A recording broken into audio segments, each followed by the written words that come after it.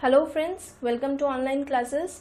This is the third lecture on utilization of electrical energy जिसमें कि हम electric welding electric heating illumination और electroplating से related questions discuss कर रहे हैं। लेक्चर नंबर टू में हम वन टू थर्टी क्वेश्चंस कर चुके हैं और अब हम आगे कंटिन्यू करेंगे। अगर आपने प्रीवियस वीडियो नहीं देखा है तो प्लेलिस्ट में आप लेक्चर नंबर टू देख सकते हैं। उसमें आपको इन टॉपिक से related one to thirty question मिल जाएँगे। और अगर आप इस चैनल पे नए हैं और आपने चैनल को सब्सक्राइब नहीं किया है तो आप सब्सक्राइब कर लें और बेल आइकन को प्रेस कर दें सो so दैट सभी नई वीडियोस की नोटिफिकेशंस आपको टाइम टू टाइम मिलती रहें। तो चलिए स्टार्ट करते हैं आज का lecture question number thirty one the factor on which earth resistance value depends earth resistance का वैल्यू किन फैक्टर्स पे डिपेंड करता है? It depends upon condition of soil option A is correct moisture content of soil option B is also correct and it depends upon resistivity of soil and resistivity depends upon temperature therefore, option c says temperature of soil, which is also correct. So, यहाँ पर option D which says all the options are correct यही सही answer है। Option D is the correct answer next is question number thirty two material use for making electric plug is electric plugs को बनाने में कौन सा material use होता है? इलेक्ट्रिक प्लग्स को बनाने के लिए प्लास्टिक टाइप बैकेलाइट यूज़ किया जाता है। Option B bakelite is correct और यहाँ पर ऑप्शन ए में गिवन है पोरिसिलिन क्वेश्चंस में ये भी पूछा जाता है कि पोरिसिलिन कहाँ यूज़ किया जाता है? ओवरहेड लाइन इंसुलेटर्स में पिन टाइप इंसुलेटर्स बनाने के लिए पोरिसिलिन यूज़ किया जाता है. पिन टाइप इंसुलेटर कुछ इस तरह का स्ट्रक्चर होता है. आपने देखा होगा. इन इंसुलेटर्स को बनाने के लिए जो मटेरियल यूज़ होता है that is porcelain next is question number thirty three it is desirable to operate the arc furnaces at a power factor of what? Arc furnaces में हीटिंग के लिए इलेक्ट्रिक आर्क को यूज़ किया जाता है और यहाँ पर एक डिजायरेबल पावर फैक्टर होना ज़रूरी है which is equal to point seven zero seven lagging so option C is correct next is question number thirty four oxygen to acetylene ratio in case of oxidizing flame is equal to what? Oxidizing flame में oxygen और acetylene का क्या ratio होता है? So let me tell you कि oxidising flame क्या है? Gas welding में गैस वेल्डिंग में एक टाइप का वेल्डिंग है which is called oxy acetylene welding जहाँ पर हम ऑक्सीजन और एसिटाइलिन को यूज़ करके एक फ्लेम प्रोड्यूस करवाते हैं वेल्डिंग के लिए। और वो जो फ्लेम है that can be of three types तीन तरह के फ्लेम्स जो हैं ऑक्सी एसिटाइलिन टाइप वेल्डिंग में प्रोड्यूस होते हैं। One is neutral another one is carburizing and one is oxidizing neutral flame जो है that is also called as balanced flame क्योंकि यहाँ पर ऑक्सीजन और एसिटाइलिन का वन टू वन रेशो होता है। दोनों इक्वल वॉल्यूम में होते हैं। कार्बोराइजिंग फ्लेम में एसिटाइलिन काफ़ी ज़्यादा कंटेंट में होता है। एसिटाइलिन का रेशो ऑक्सीजन से बहुत ज़्यादा हाई होता है। ऑक्सीडाइजिंग फ्लेम में ऑक्सीजन एसिटाइलिन से स्लाइटली ग्रेटर होती है। और इसका रेशो होता है 1.5 point five is to one one point five volume oxygen होता है। One volume is acetylene so यहाँ option C 1.5 point five is to one is the correct answer next is question number thirty five A black body, when heated to emits the maximum energy in visible spectrum range. पूछा गया है कि किसी black body को आप किस temperature पे heat करेंगे सो so दैट उसमें से मैक्सिमम एनर्जी एमिट हो in the visible spectrum range black body radiation के लिए there is a law called Wien displacement law and according to this law, the maximum wavelength is inversely proportional to the temperature. और इसे हम लिख सकते हैं lambda max is equal to B upon T जहाँ पर बी प्रोपोर्शनैलिटी कांस्टेंट है, जिसकी अप्रॉक्सीमेट वैल्यू होती है 2900 micrometer kelvin means this temperature is in kelvin question में पूछा है कि maximum energy visible spectrum range में एमिट हो रही है। विजिबल स्पेक्ट्रम में वेवलेंथ की जो रेंज होती है that is from 380 nanometers to 750 nanometers तो अब हमें कैलकुलेट करना है टेम्परेचर जहाँ पर मैक्सिमम एनर्जी रेडिएट हो। तो यहाँ पर हमें मैक्सिमम टेम्परेचर फाइंड आउट करना है। T max is equal to B upon lambda और लेमडा की जो वैल्यू होगी that should be minimum at minimum value of lambda temperature will be maximum यहाँ पर हम बी और लेमडा की वैल्यूज़ पुट करेंगे। B is equal to twenty nine hundred into ten raised पर minus six because it is in micrometer kelvin divided by minimum value of lambda is three eighty nanometers three eighty into ten raised power minus nine और यहाँ जो हमें temperature की value मिलेगी that will be in kelvin after calculating हमें मिलेगा seven six three one kelvin options जो given हैं they are in degree Celsius तो kelvin to degree Celsius convert करने के लिए temperature in degree Celsius is equal to temperature in kelvin minus two seventy three करेंगे. This will give seven six three one minus two seventy three is equal to seven three five eight degree Celsius but यहाँ option में हमें given है eight thousand degree Celsius तो हम option D को mark करेंगे। Next is question number thirty six the temperature inside a furnace is usually measured by what furnace के अंदर टेम्परेचर मेज़रमेंट करने के लिए we have an instrument called optical pyrometer optical pyrometer का use करते हैं फर्नेस के अंदर टेम्परेचर मेज़रमेंट के लिए। Optical pyrometers non contact type instruments होते हैं, क्योंकि फर्नेस के अंदर temperature is very very high और यहाँ हम कोई कॉन्टैक्ट टाइप इंस्ट्रूमेंट्स को नहीं यूज़ कर सकते टेम्परेचर मेज़रमेंट के लिए।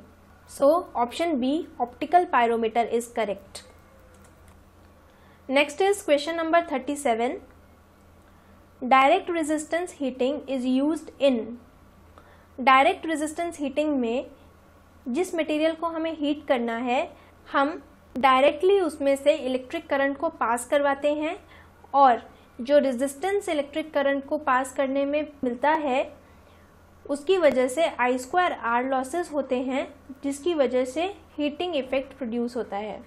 और डायरेक्ट रेजिस्टेंस हीटिंग जो है this is use in electrode boiler salt bath furnace and resistance welding so option D is correct Next is question number 38. Which of the following has the highest value of thermal conductivity?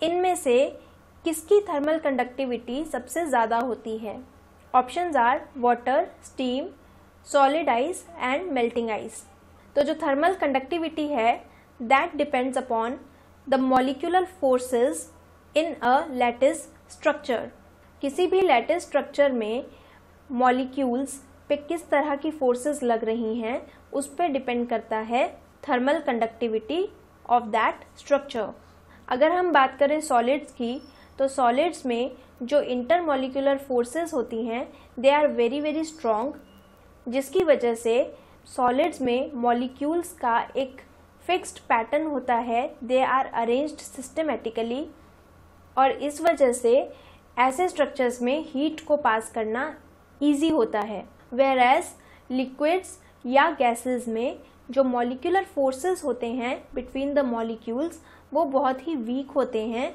और ये systematically arranged नहीं होते, जिसकी वजह से जो heat transfer होता है दैट बिकम्स डिफ़िकल्ट और इनकी थर्मल कंडक्टिविटी लो हो जाती है और सॉलिड्स की थर्मल कंडक्टिविटी हाई होती है। तो यहाँ पर सबसे ज़्यादा थर्मल कंडक्टिविटी होगी सॉलिड आइस की therefore option C is correct next is question number thirty nine static electricity is produced by static electricity produce करने के लिए इनमें से कौन सा मेथड यूज़ कर सकते हैं? Options are chemical reaction is wrong induction is wrong the correct answer here is option B friction friction से स्टैटिक इलेक्ट्रिसिटी प्रोड्यूस करवाई जा सकती है।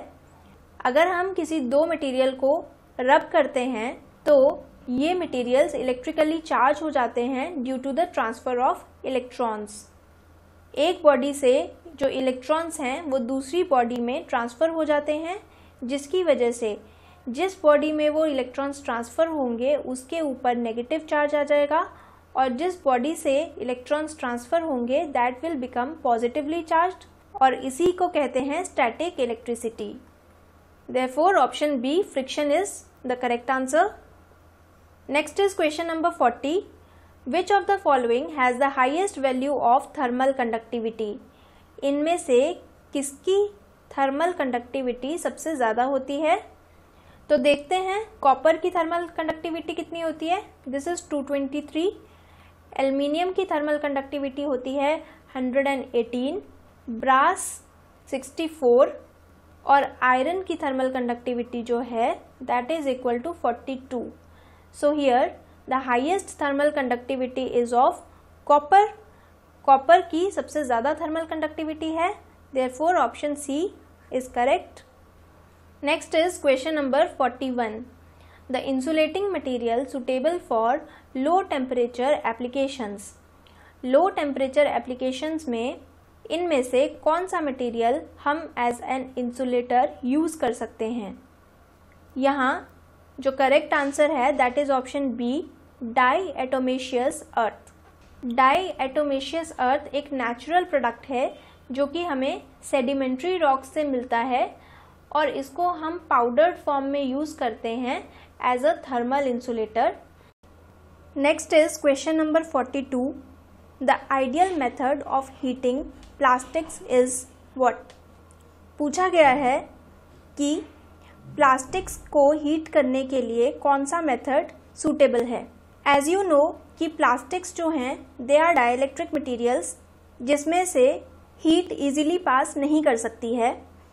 तो सभी डाइलेक्ट्रिक मटेरियल्स में से हीट पास करवाने के लिए या उन्हें हीट करने के लिए जो मेथड यूज़ किया जाता है that is called dielectric heating इस प्रोसेस में जिस मटेरियल को हमें हीट करना होता है, से प्लास्टिक उसे हम high frequency alternating electric field में प्लेस करते हैं और इसमें radio waves microwaves electromagnetic waves को यूज़ करते हैं. So here the correct option is B dielectric heating next is question number forty three the main application of indirect arc furnace is to melt what indirect arc furnace में mainly किसे melt किया जाता है? तो यहाँ पर non ferrous metals को melt करने के लिए इनडायरेक्ट आग फर्नेस को यूज़ किया जाता है। So the right answer is option C next is question number forty four the quantity of heat absorbed from the heater by convection depends on heater में से convection के through कितना heat absorb होगा, ये किस पे डिपेंड करता है? Options are the temperature of heating element the surface area of heater the position of heater heat transfer करने के तीन मेथड्स होते हैं। One is by conduction second is by convection and third is by induction convection के through heat किस तरह से transfer होता है? ये मेनली हीटर्स के केस में हम देख सकते हैं। सपोज़ आपने रूम में एक हीटर रखा हुआ है तो वो रूम को किस तरह से हीट करता है? कि हीटर के पास वाली जो एयर होती है, सबसे पहले तो वो हीटअप हो जाती है और आफ्टर हीटिंग ऊपर उठ जाती है। उसके बाद जो स्पेस वो छोड़ के ऊपर उठती है, उस स्पेस को कवर कर लेती है, जो आसपास की ठंडी एयर होती है। देन वो जो ठंडी एयर है, वो हीटर के पास आके वो भी गर्म हो जाती है and then it rises up और इस तरह से ये प्रोसेस चलता रहता है, और रूम हीट अप हो जाता है। तो इस तरह से कितना हीट एब्जॉर्ब होगा, ये किन किन चीज़ों पे डिपेंड करता है?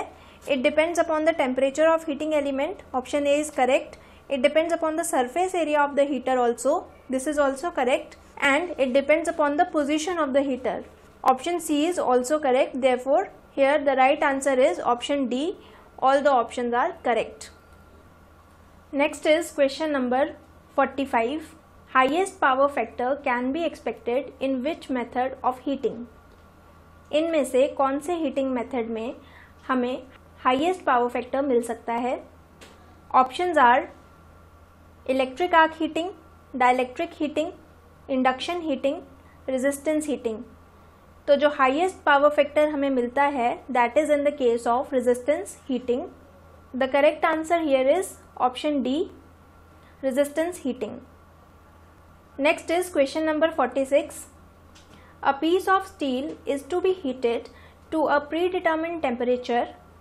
In which of the following furnace it will attain the desired temperature in the shortest possible time. पूछा गया है कि एक स्टील के पीस को हीट करना है टू अ पर्टिकुलर टेम्परेचर तो इनमें से कौन सी फर्नेस में उसे हम रखें ताकि हमें वो पर्टिकुलर टेम्परेचर मिल जाए in the shortest possible time come time में वो स्टील का पीस एक डिज़ायरेबल टेम्परेचर तक पहुँच जाए तो उसके लिए हमें कौन सा फर्नेस यूज़ करना होगा? Options are oil fired furnace with heat exchanger electric resistance furnace induction heating furnace and electric arc furnace metals और अलॉयज को हीट करने के लिए जो बेस्ट फर्नेस है that is induction heating furnace induction heating furnace को eddy current heating furnace भी कहते हैं। ये फर्नेस आयरन स्टील और एल्यूमिनियम जैसे मटेरियल्स को इजीली हीट करने में यूजफुल होती है। Therefore the right answer here is option C next is question number forty seven the advantages of eddy current heating are eddy current heating में क्या क्या एडवांटेजेस होते हैं? फ़र्स्ट ऑफ़ ऑल देख लेते हैं एडी करंट हीटिंग में क्या प्रोसेस फॉलो किया जाता है। As I told you in the previous question कि एडी करंट हीटिंग ही इंडक्शन हीटिंग होता है और ये मेथड मोस्टली मेटल्स को हीट करने के लिए यूज़ किया जाता है। इसमें एक high frequency current carrying coil के अंदर मेटल को प्लेस करवाया जाता है, जिसकी वजह से एक ऑल्टरनेटिंग मैग्नेटिक फ़ील्ड सेटअप होता है और एडी करंट्स इंड्यूस होते हैं मेटल के अंदर। और इन एडी करंट्स की वजह से कुछ पावर लॉस होता है, जिसे एडी करंट लॉस कहते हैं, and this eddy current loss is responsible for heat generation in the metal. सो ये पूरा प्रोसेस जो है, वो इंडक्शन हीटिंग या एडी करंट हीटिंग में फॉलो किया जाता है, और इसके क्या क्या एडवांटेजेस हैं?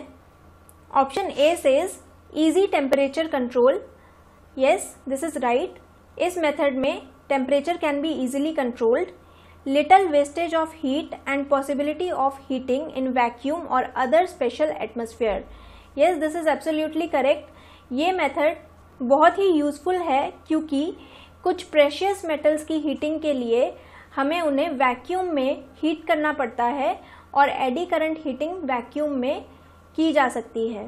So option A is correct here next option B क्या कहता है? Heat can be made to penetrate into the metal surface to any desired depth yes this is also correct इस मेथड में जो मेटल है, कितना भी डेप्थ तक उसको हीट किया जा सकता है। देयर इज़ नो लिमिटेशन कि मेटल को कितनी डेप्थ तक आप हीट करें। आप कितने भी डेप्थ तक मेटल को इसमें हीट कर सकते हैं। Then option C says the area of surface cover in which heat is produced can be accurately controlled this is also correct कितने एरिया को हीट करना है, ये भी इस मेथड से आप कंट्रोल कर सकते हैं। So option D all the option above are correct is the right option next is question number forty eight radiant heating is use for what radiant heating को हम कहाँ यूज़ करते हैं? देखिए रेडियंट हीटिंग में क्या प्रोसेस फॉलो किया जाता है कि जिस बॉडी को हमें हीट करना है उस पे एक इनकेंडेंसेंट लैम्प के थ्रू इलेक्ट्रोमैग्नेटिक रेडिएशंस को फोकस करवाया जाता है, जिसकी वजह से ये बॉडी हीट होती है रेडियंट हीटिंग मेथड जो यूज़ किया जाता है that is basically use for drying the paints and varnishes Here option C is correct. Next is question number 49. The supply frequency usually employed for high frequency, eddy current heating is what? Eddy current heating के लिए usually कितना supply frequency use होता है? जो eddy current heating है, ये high frequencies के लिए यूज़फुल है। इसलिए यहाँ पर जो फ्रीक्वेंसीज यूज़ होती हैं they are in the range of 10 kilo hertz to 400 kilo hertz 10 kilo hertz से लेके 400 किलो हर्ट्स की फ्रीक्वेंसीज एडी करंट हीटिंग के लिए यूज़ होती हैं। So the right answer here is option B next is question number 50 in induction heating the depth up to which the current will penetrate is proportional to what induction heating में या eddy current heating में जो current है, वो किसी metal को कितना deep तक पेनिट्रेट कर सकता है, ये किसके प्रोपोर्शनल होता है, ये बताना है यहाँ पे। जो पेनिट्रेशन डेप्थ है, वो यहाँ पेनिट्रेशन फॉर्मूला से कैलकुलेट किया जाता है।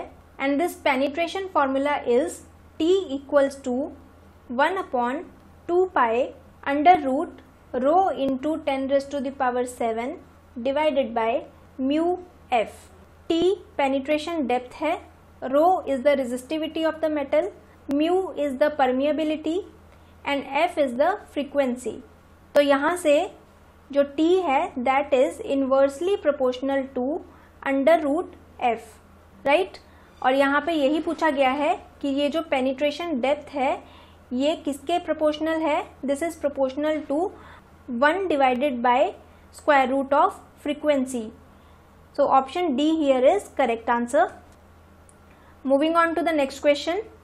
Question number fifty one steel rails are welded by which of the following steel rails को वेल्ड करने के लिए कौन सा मेथड यूज़ किया जाता है?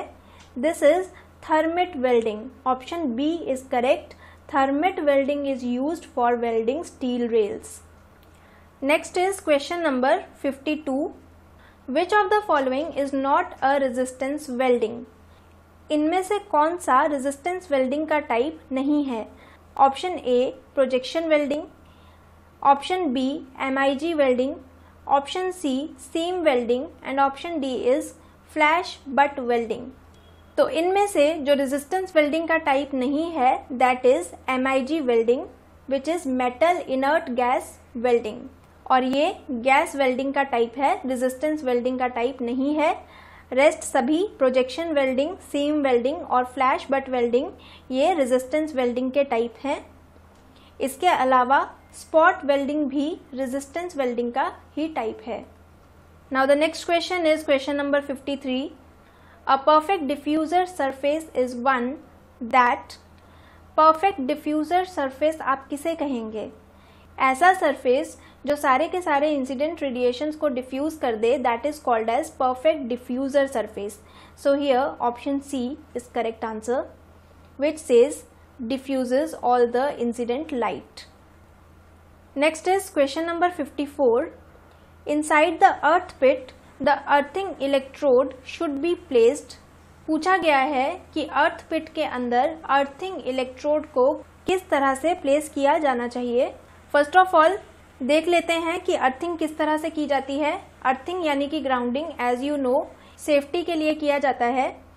इसको किस तरह से करते हैं कि हमारे किसी भी इलेक्ट्रिकल इंस्टॉलेशन के अंदर जितने भी कंडक्टिंग पार्ट्स होते हैं, उन्हें हम एक अर्थिंग इलेक्ट्रोड से कनेक्ट करके उस इलेक्ट्रोड को अर्थपिट के अंदर बरी कर देते हैं।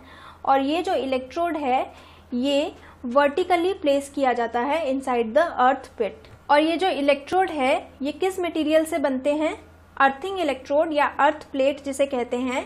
These are made of copper और गैल्वेनाइज्ड आयरन गैल्वेनाइज्ड आयरन को जीआई प्लेट भी बोला जाता है। ये मटेरियल्स जो हैं अर्थिंग इलेक्ट्रोड को बनाने के लिए यूज़ होते हैं। So here the correct answer is option A vertical vertically place किया जाता है अर्थिंग इलेक्ट्रोड को inside the earth pit next is question number 55 This will be the last question of this session. This says, which of the following heating elements can give highest temperature in resistance heating? इनमें से कौन सा element resistance heating में highest temperature generate कर सकता है?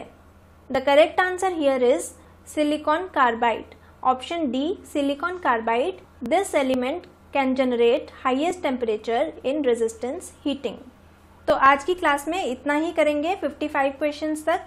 Next class में आगे के क्वेश्चंस के साथ हम कंटिन्यू करेंगे। Thank you very much for watching this lecture I hope कि हमारे लेक्चर्स आपकी प्रिपरेशन में हेल्पफुल हो रहे होंगे। और अगर आपको हमारे लेक्चर्स बेनिफिशियल लग रहे हैं अपनी प्रिपरेशन में तो हमारे वीडियोस को लाइक कीजिए और अपने दोस्तों के साथ शेयर कीजिए।